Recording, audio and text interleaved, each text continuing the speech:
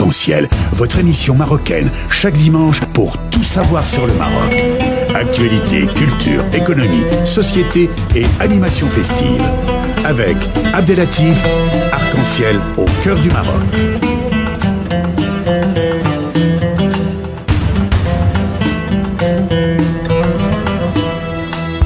Bonjour à tous, bonjour à tous et bienvenue dans l'émission Arc-en-Ciel sur Radio Pluriel, une émission dédiée à la promotion de la relation France-Maroc, mais surtout de cette coopération nord-sud-sud.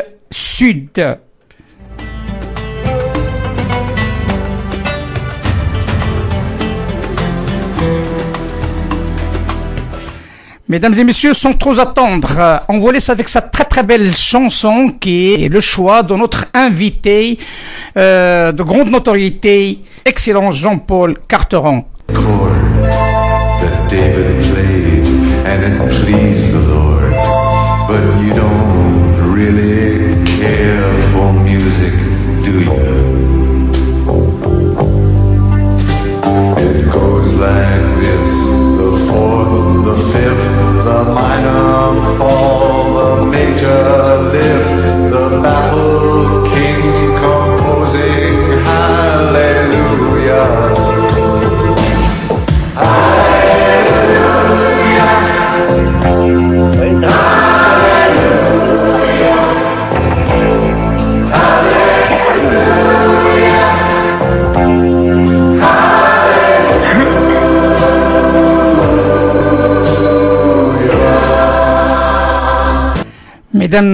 Et messieurs, nous sommes heureux de recevoir pour la deuxième fois dans l'émission Arc-en-Ciel sur Radio Pluriel son Excellence Jean-Paul Carteron, président fondateur du Forum Crons Montana. Excellence, bonjour. Bonjour monsieur. Tout d'abord, permettez-moi, de, au nom de l'émission Arc-en-Ciel, de vous remercier par rapport à cette deuxième acceptation de notre euh, modeste émission qui est dédiée à promouvoir ce travail énorme que le Crans Montana aussi euh, y participe, cette promotion de l'Afrique. Et je ne peux pas commencer sans parler de cette très très belle chanson avec quelques mots qui a été traduit, euh, Excellence. Or mineur tombe et l'accord majeur s'élève. Le roi déchu compose. Alléluia, Alléluia. Ma première question, Excellence, c'est la troisième édition de Crans Montana de Dakhla. Une ville qui est considérée maintenant comme la deuxième porte du Maroc vers le sud, notamment vers l'Afrique, comme Tanger au nord. Ça fait trois fois que Crans-Montana ouvre ses portes dans cette ville. Comme vous voyez, son évolution en tant que ville qui a démarré presque de rien. On peut même dire qu'elle a démarré de rien, puisque euh, au départ, euh, il y avait du sable, la mer, le vent et le soleil. Et puis, euh, vous avez au Maroc un roi qui est un homme visionnaire et qui a compris dès le départ que le Tanger du Nord pouvait se répéter dans le Sud et que ce qui est appelé la, la perle du Sud pouvait devenir véritablement un hub international pour toute l'Afrique de l'Ouest en devenant un port, en devenant un centre d'échange, en devenant un centre industriel, agroalimentaire, un centre culturel également. Et on voit depuis euh, quelques années maintenant euh, les choses changer d'une année sur l'autre. Entre mars 2016 et mars 2017, j'étais impressionné de voir l'importance des constructions qui euh, avancent dans toute la ville. Ça devient une grande ville et ça va être une métropole. C'est un véritable miracle. Et euh, là où la politique royale mise en œuvre euh, dans ces territoires du Sud est importante, c'est qu'alors que dans la plupart des pays d'Afrique, euh, l'espoir est parti, les jeunes s'en vont, on, on pense qu'on ne pourra rien faire pour améliorer la situation de chaque pays, le Maroc démontre que le miracle est toujours possible et qu'avec une volonté, avec une vision, avec un minimum de moyens, on peut véritablement créer quelque chose de nouveau, de neuf et qui redonne l'espoir à la jeunesse. Justement, c'est parmi les éléments qu'on va essayer d'évoquer lors de cette euh, intervention, euh, ce- surtout ce paramètre jeunesse qui est très important, surtout en Afrique, et cette, ce paramètre aussi climat et développement durable, parce que euh, on sait pertinemment que les deux sont liés, euh, soit sous forme de désertification, soit sous forme rareté de l'eau, soit sous forme aussi euh, cette immigration qui, qui, qui fait beaucoup de dégâts en- entre les deux entre les deux continents, notamment l'Afrique et l'Europe. Euh, Cons Montana a 35 ans, euh, excellence, et c'est une euh, plateforme qui connaît, qui se distingue par rapport à d'autres euh, manifestations similaires par la continuité durant l'année. Il y a plusieurs Cons Ah non, Montana. quatre ou cinq, Ex- quatre ou cinq fois par Ex- an. Exactement, cette continuité, voilà. L'idée, elle est là. Cette continuité, cette, euh, cette continuité, est-ce qu'il joue un rôle moteur dans la, dans la réussite d'un événement par rapport à l'autre? Il y a plusieurs choses. D'abord, il n'y a que, que deux organisations dans le monde euh, de notre niveau et de notre réputation euh, qui sont aussi anciennes. Il y en a une qui est très connue, qui s'appelle Davos, qui Mhm. fait beaucoup de publicité, qui est une énorme machine, très respectable d'ailleurs. Et puis il y a la nôtre, euh, qui est aussi ancienne et qui fait beaucoup moins de bruit, parce que nous ne cherchons pas la médiatisation. Euh, personnellement, je n'ai pas d'ambition de communication personnelle comme d'autres peuvent en avoir. Et je n'ai jamais cherché à ce que euh, l'on communique, à ce que l'on diffuse d'une manière médiatique exagérée euh, ce que nous faisons dans nos forums. C'est ainsi qu'on a créé une atmosphère qui est une atmosphère très privilégiée où les hommes politiques viennent volontiers parce qu'ils savent qu'on ne va pas utiliser leur nom pour faire de l'argent. Ils savent que notre organisation n'est pas tournée vers le profit industriel, mais tout au contraire dans le cadre d'une visée et d'une vision institutionnelle de son existence tournée vers une mission qui est d'améliorer notre monde, de favoriser la coopération internationale, de faire en sorte que les gens puissent véritablement s'apprécier et travailler ensemble. Donc, euh, euh, nous sommes demandés et nous sommes demandés de plus en plus à travers le monde pour organiser des événements. On ne peut pas en faire trop parce que euh, on ne peut pas en faire un toutes les semaines. Mm. Donc, euh, nous pouvons en faire trois, nous pouvons en faire à la rigueur quatre par an et c'est déjà beaucoup. Bien sûr. Et nous sommes heureux que Darla ait pris une place particulière dans l'agenda de nos activités annuelles. Justement, justement, c'était l'objectif de ma question, euh, Excellence, c'est que Dakhla il fait partie maintenant de l'agenda euh, annuel de, de, Montana.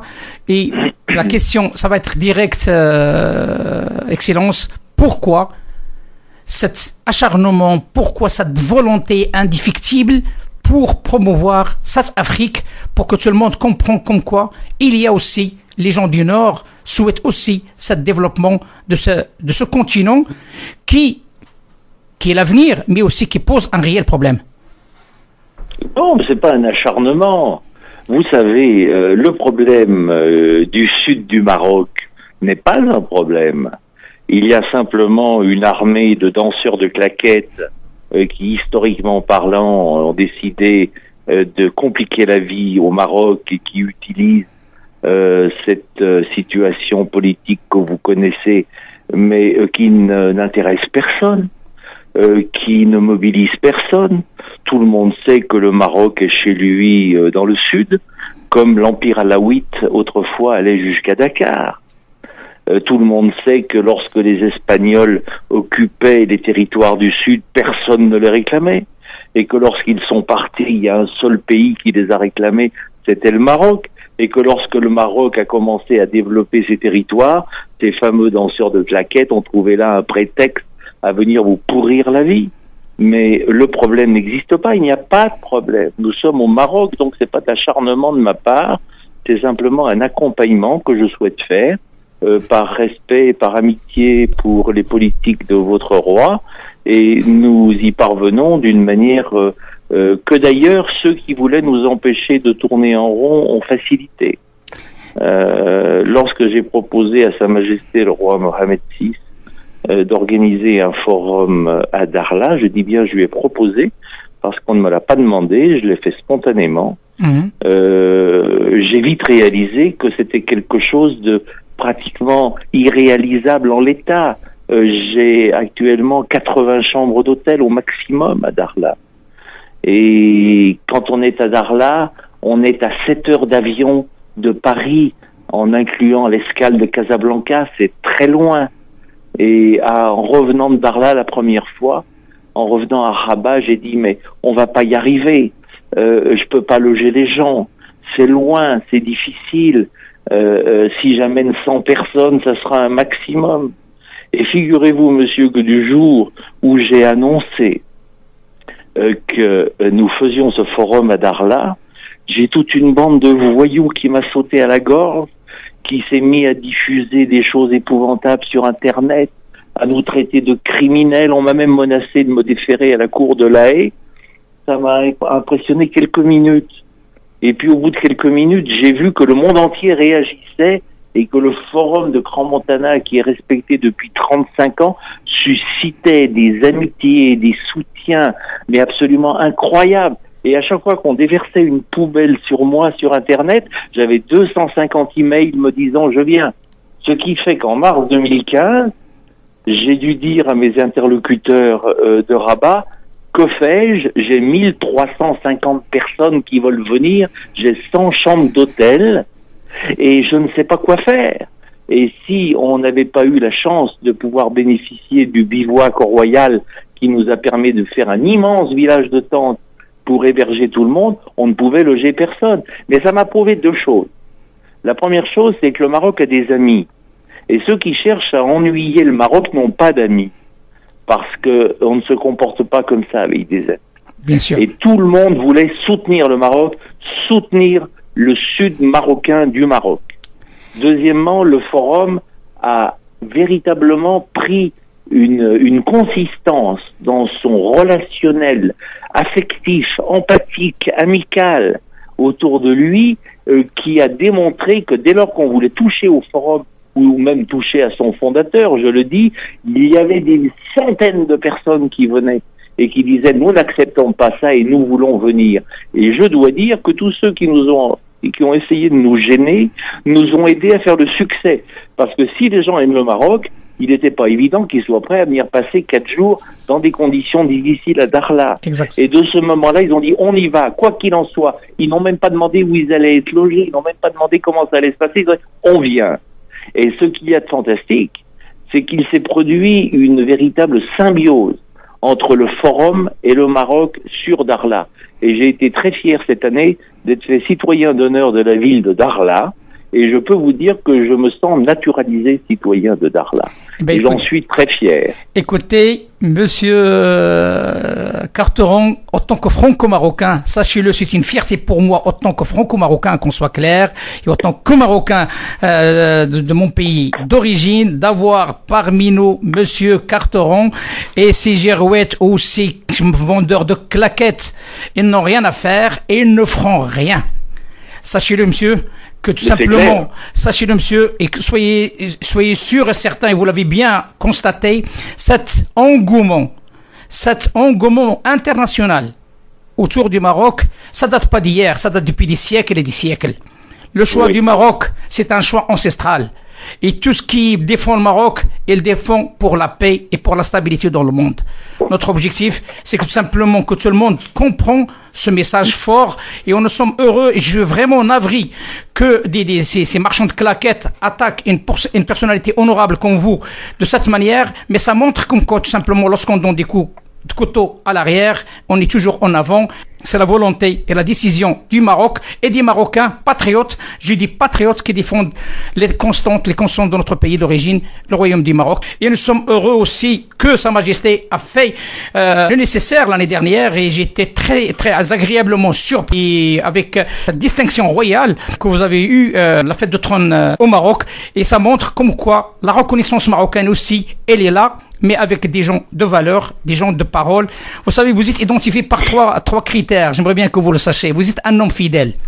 Vous, Abs- Absolument. ce que se dit derrière vous, j'aimerais bien que vous le sachiez. Vous êtes un homme fidèle, un homme pertinent et surtout un homme déterminé. Et avec les trois qualités, on peut y aller encore très très loin.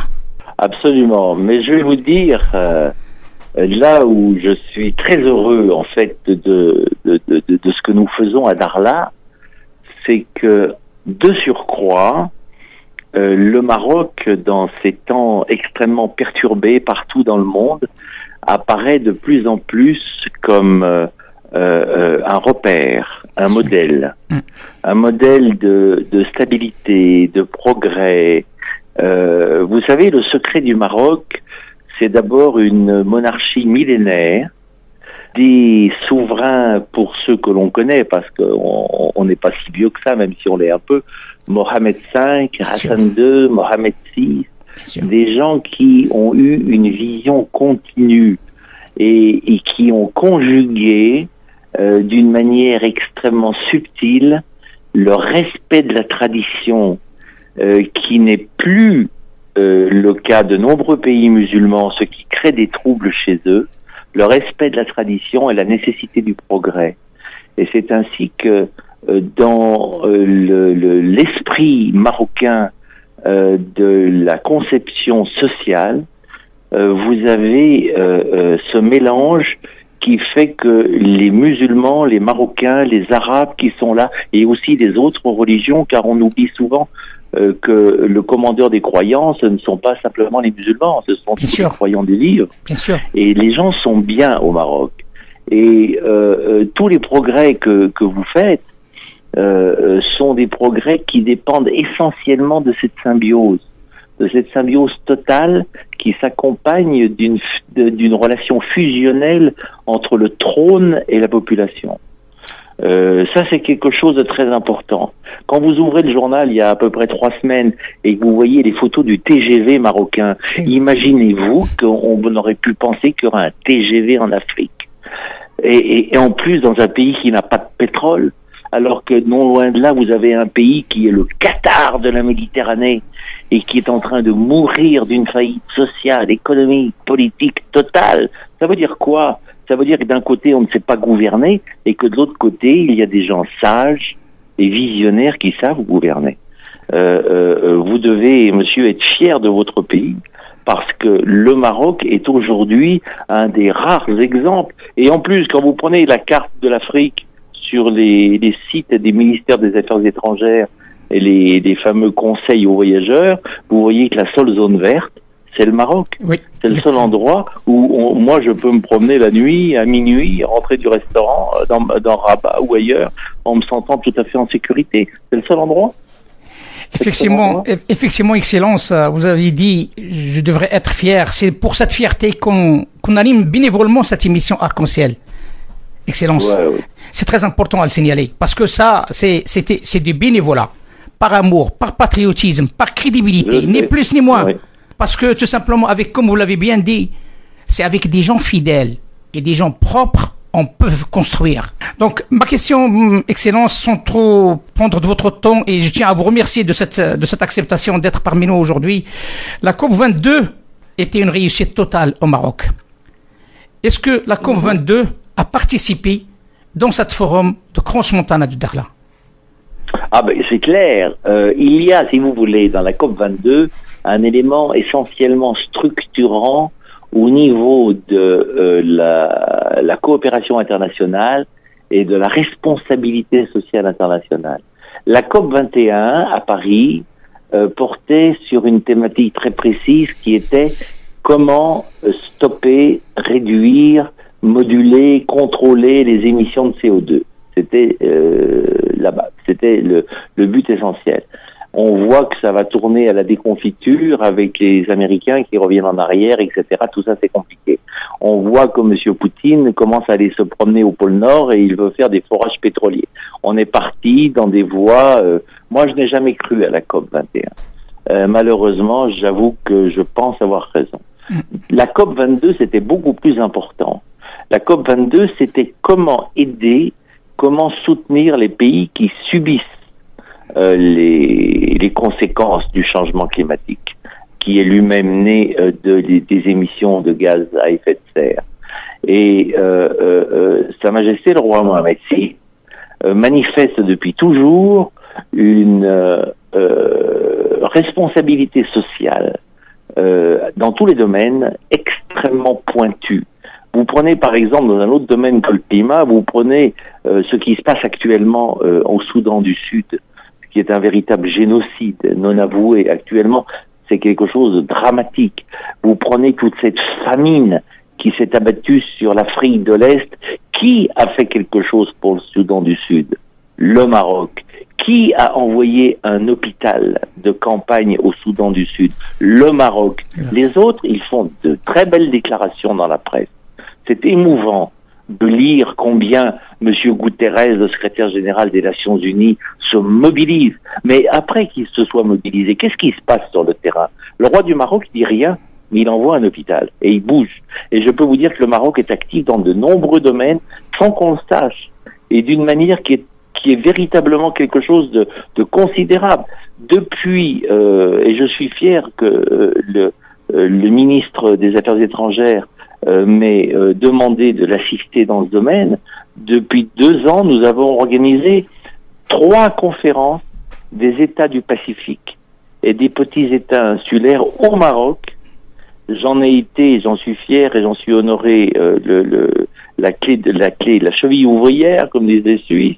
Et nous avons réuni au Maroc tous ces pays qui souffrent et qui sont dénués de tout moyen pour commencer une coopération bilatérale avec le Royaume qui permette d'atténuer euh, leur malheur, de les aider dans le domaine pharmaceutique, médical, etc. Et ça encore, c'est le Maroc. On fait pas de publicité dans les journaux là-dessus, mais ça avance.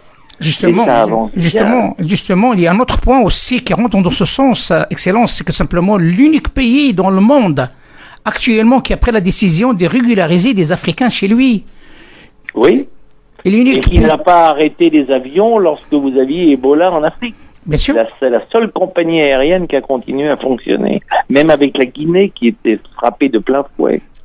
C'est la solidarité, euh, c'est la solidarité internationale. Absolument. Et justement, parce que tout simplement, nous avons un roi jeune, un roi décomplexé, un roi ouvert.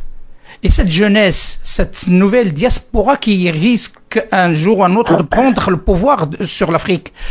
Comme vous voyez, selon le forum Cross-Montana de Dakhla, quel rôle peut jouer quelles sont ces difficultés actuelles et comment le Cross-Montana, par l'intermédiaire de ses invités, peuvent aider cette jeunesse à prendre ses responsabilités et se mettre au travail par rapport à ce continent qui est une source d'énergie et une source de, de richesse par rapport à d'autres continents qui se trouvent actuellement en difficulté.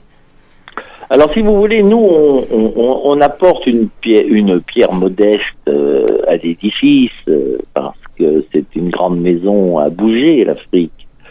Euh, mais euh, nous travaillons essentiellement à la restauration de l'espoir. C'est-à-dire que euh, les jeunes Africains, maintenant je parle de l'Afrique subsaharienne, les jeunes Africains ne croient plus euh, dans leur propre pays. Et je cite souvent l'exemple du Bénin, euh, où il y a une élite intellectuelle euh, assez importante, eh bien, vous avez plus de médecins béninois qui pratiquent en France que de médecins béninois au Bénin. Parce qu'ils partent, ils vont faire des études à l'étranger, ils bénéficient de bourses, etc. et ils ne reviennent pas. Et le gros problème, quand vous parlez de la jeunesse, c'est de faire en sorte que l'espoir revienne. Alors, pour que l'espoir revienne, il faut déjà que les jeunes qui aujourd'hui sont instruits, et euh, même s'ils sont pas instruits au sens académique traditionnel, ils ont accès à Internet, ils voient ce qui se passe dans le monde. Il faut déjà qu'ils commencent à respecter ce qui les dirige. Et il faut que, euh, au niveau de la gestion des affaires publiques, euh, il y ait une véritable démocratie qui fonctionne. Il faut qu'il y ait un respect des institutions publiques, un respect des biens publics, de la chose publique, qu'on ne se dise pas je suis ministre pendant cinq ans, donc je tape dans la caisse et je disparais, ce qui s'est passé pendant longtemps et se passe encore dans certains pays africains.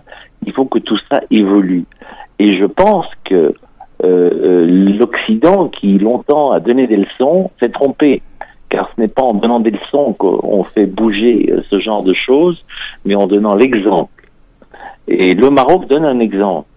Et je suis frappé euh, quand je vois votre roi faire des visites officielles euh, en Afrique.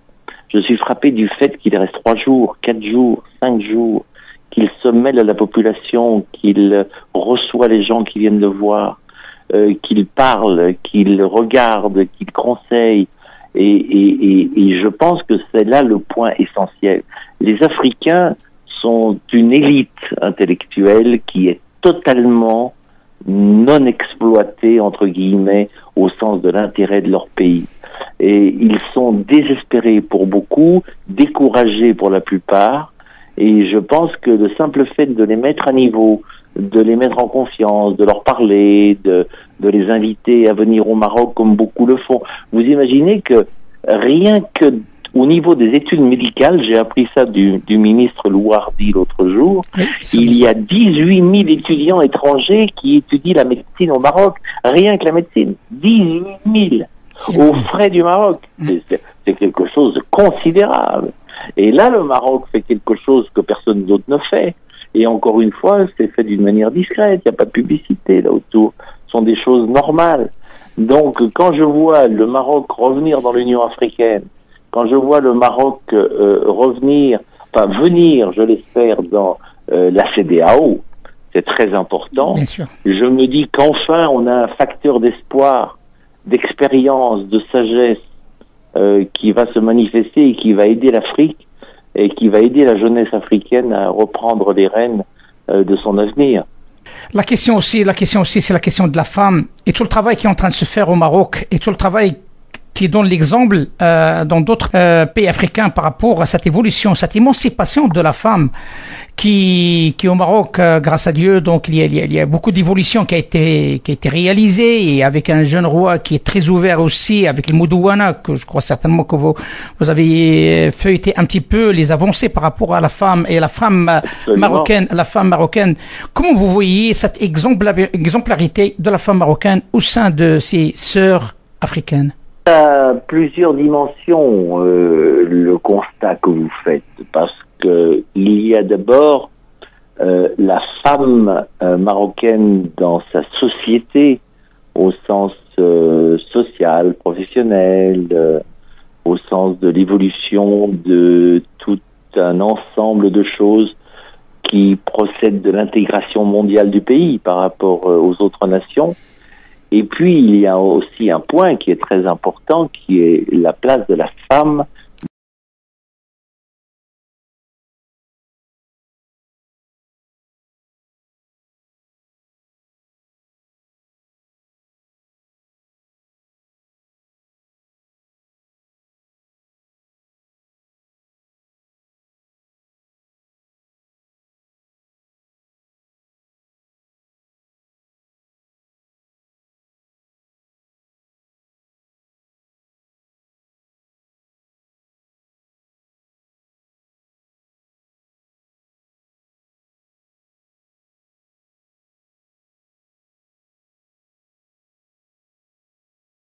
marocaine parce que euh, la société marocaine est d'abord une société de tradition.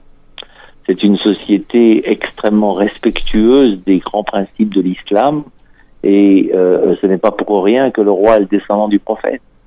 Euh, tout ça est important et aujourd'hui on voit au Maroc des femmes habillées en ensemble Chanel qui sont présidentes de grands groupes et même du patronat Mhm. euh, à Casablanca. Vous avez des jeunes filles qui sont en mini-jupe et qui vont au bureau dans les rues de Casablanca. Et vous vous dites, mais alors, mais alors, c'est possible de conjuguer l'islam, la tradition, le respect des grandes valeurs, et puis un certain modernisme qui fait que les gens ont envie de se sentir bien dans leur peau? Oui, c'est possible. Et ça n'existe qu'au Maroc. Et ce qu'a fait le, Maroc, euh, depuis déjà des décennies pour la promotion de la femme a été quelque chose de déterminant. Et là aussi, je pense que le Maroc est un exemple structurant euh, pour l'ensemble des autres pays et qui ont tendance à battre machine arrière euh, dans des tas de domaines euh, par démagogie, par populisme, par crainte aussi, par menace. Le Maroc est un État fort. Et je vais vous dire une chose, euh, que beaucoup de gens oublient, notamment, euh, euh, notamment en, en Europe, c'est que plus un État se veut démocratique, et Dieu sait que les avancées démocratiques au Maroc depuis des décennies, ont été extrêmement fortes. Il n'y a qu'à voir votre presse Bien sûr. euh, pour constater qu'on est dans un pays ouvert où l'on peut sûr. parler et s'exprimer. Plus un État se démocratise, plus l'État doit être, plus le- l'État lui-même doit être fort. C'est-à-dire que démocratie et liberté ne veut pas dire laisser faire et État faible qui regarde sans pouvoir agir. On constate dans des pays, je n'en citerai pas en Europe, avec tous les problèmes de banlieue, tous les problèmes de communautarisme, de tout ça, c'est un non-sens, tout simplement parce que l'État n'existe plus et que vous avez des démagogues, des, des, des gens faibles qui ne sont pas structurés personnellement pour diriger un pays, qui sont aux commandes et qui s'affaissent. On voit actuellement, il y a un problème avec un territoire d'Amérique du Sud. Les ministres sont venus euh, euh, s'excusent au nom de l'État, ce qui est in- inimaginable. Un État qui s'excuse, ils s'excusent, ils promettent des milliards. Et ben non, le lendemain, ça recommence.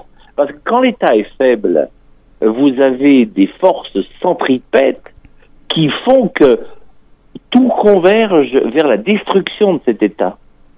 Et là, euh, euh, euh, ce que j'admire, moi, dans le système mis en place par le Maroc, c'est que depuis des années, nous avons une évolution vers la démocratie, vers la liberté, vers l'autonomie de la personne individuelle qui s'accompagne d'un État fort, respecté. Euh, et je viens de tweeter sur mon compte euh, une photo tout à l'heure avec des policiers italiens. Et je disais, regardez ces policiers italiens, ils sont habillés de manière élégante. Parce que si vous voulez que la police soit respectée, et c'est le cas du Maroc, quand je me balade dans les rues du Maroc, je vois des policiers élégants. Exactement. Si vous voulez que la police soit respectée, il faut déjà qu'elle soit respectable, ne serait-ce que dans la vision qu'on porte, le, le- le- la vue qu'on a d'elle.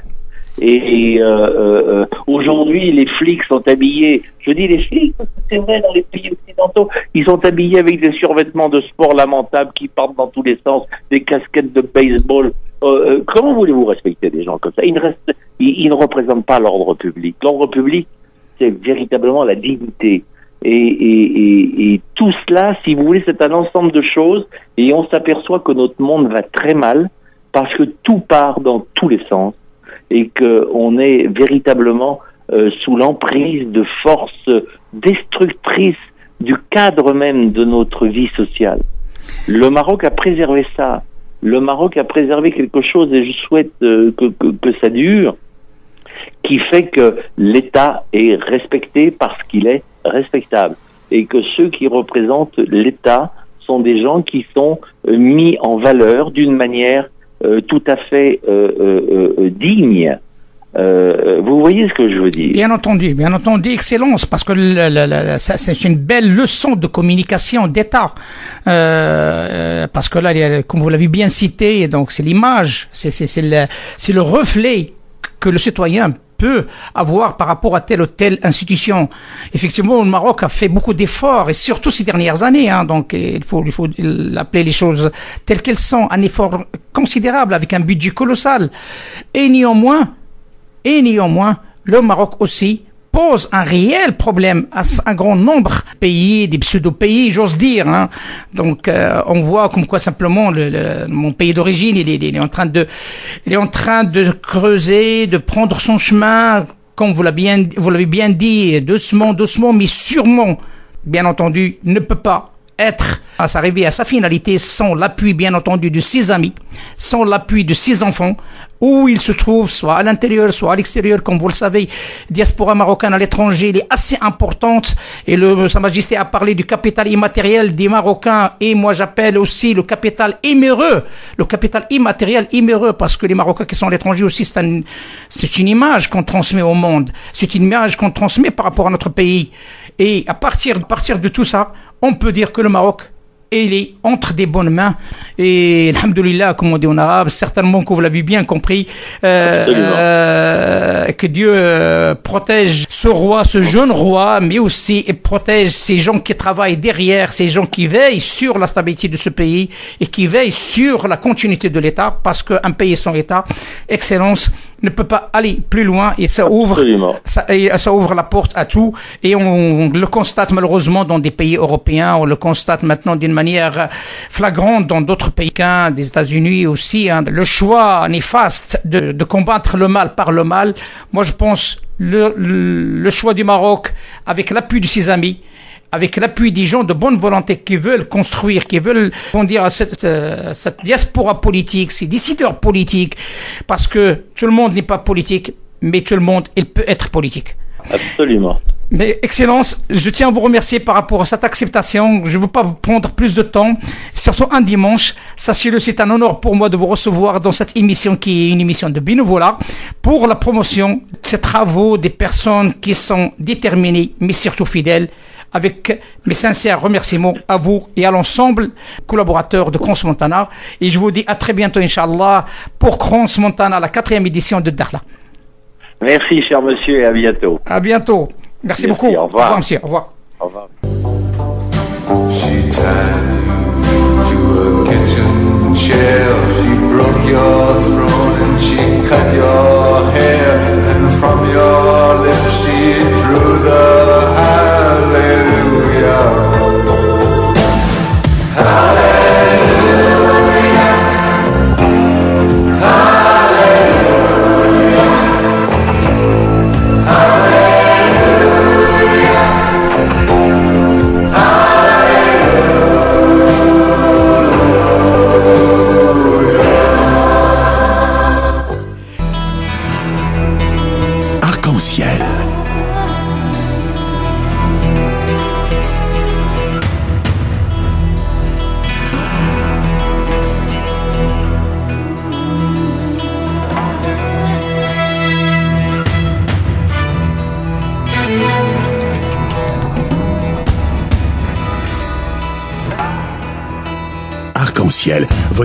Marocaine, chaque dimanche pour tout savoir sur le Maroc. Actualité, culture, économie, société et animation festive. Avec Abdelatif, Arc-en-ciel au cœur du Maroc.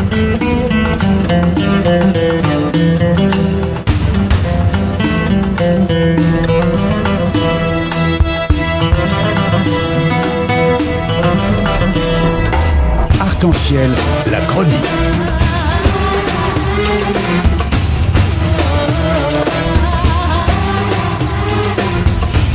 Arc-en-ciel info.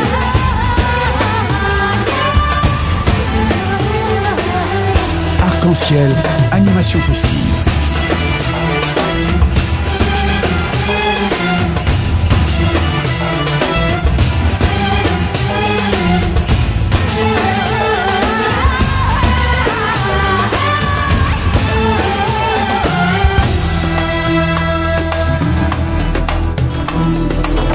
Arc-en-ciel au cœur du Maroc.